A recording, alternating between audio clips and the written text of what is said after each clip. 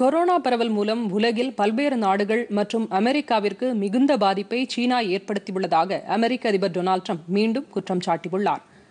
அமெரிக்காவில் மட்டும் முப்பது லட்சத்திற்கும் மேற்பட்டோர் கொரோனா தொற்றால் பாதிக்கப்பட்டு ஒரு லட்சத்து முப்பத்தி இரண்டாயிரத்திற்கும் மேற்பட்டோர் உயிரிழந்துள்ள நிலையில் ட்ரம்ப் தமது ட்விட்டர் பதிவில் இவ்வாறு குறிப்பிட்டுள்ளார்.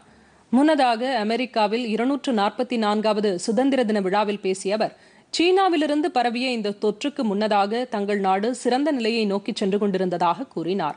வெளிநாடுகளுக்கு விதிக்கப்பட்ட வரிகளின் மூலம் அமெரிக்க கருவூலத்திற்கு பெருமளவில் நிதி கிடைக்கப் பெற்றதாகவும் தற்போது சீனாவிலிருந்து பரவிய கொரோனா தொற்று காரணமாக அது தடைபட்டுள்ளதாகவும் அதிபர் ட்ரம்ப் குற்றம் சாட்டியுள்ளார். பொதிகை செய்திகளை யூடியூபில் தமிழ் நியூஸ் தூர்தர்ஷன் என்ற சேனலிலும் முகநூலில் டிடி பொதிகை நியூஸ் என்ற பக்கத்திலும் ட்விட்டரில் டிடி நியூஸ் சென்னை என்ற பக்கத்திலும் இன்ஸ்டாகிராமில் டிடி பொதிகை நியூஸ் என்ற பக்கத்திலும் காணலாம்.